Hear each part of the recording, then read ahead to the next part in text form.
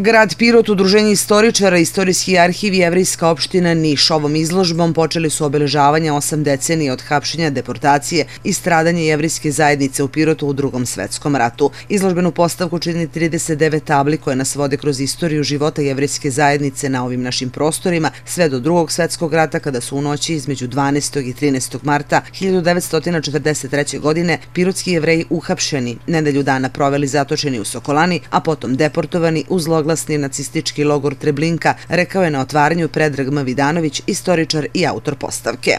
Centralni deo je u stvari taj drugi svjetski rat, odnosno bugarska okupacija, odnos e, okupatora prema jevrejima i e, sam egzodus e, pirotskih jevreja.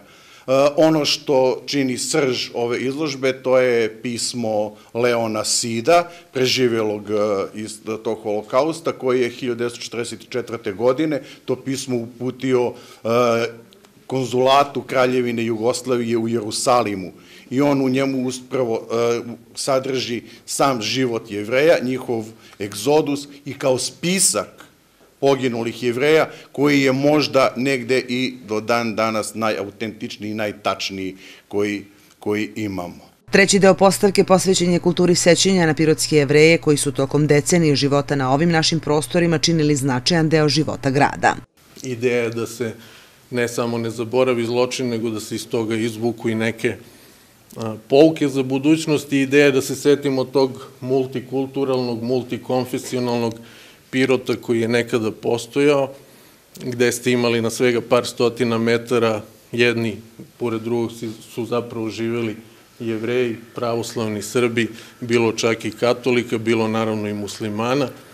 Tu nedaleko od nas se nalazila jevrijska sinagoga, odmah preko puta nje malte ne najveća muslimanska džamija, a stotinak metara dalje i naša najstarija gradska pravoslavna crkva, taj suživot je trajao vekovima. Zajedno sa istoričarima Pirota i Jevrijskom opštinom Niš, gradska uprava godinama unazad posebnu pažnju posvećuje kulturi sećenja na naše nekadašnje sugrađane. Svake godine mi obeležavamo u početku marta stradanje, odnosno jedno od najvećih stradanja koje je Pirot imao u, u svojoj istoriji, a sada ću se ovaj, podsjetiti malo i iz ličnog ugla da, da, da, da kažem da se lično sećam kada je 88. godine sad već pokojni Mić Božidar tablu ovaj, u, u Jevrijskoj ulici postavio i kada je ulica Svetozara Markovića zaista ovaj, počela se zove Jevrijska ulica, tada je ona počela da dobije oblik kakav, o, kakav danas ima. Jasna Ćirić, predsjednica Jevrijske opštine Niš, kaže da je priprema svih ovogodišnjih komemorativnih aktivnosti u godini jubileja trajala godinu dana i donosi neke nove podatke.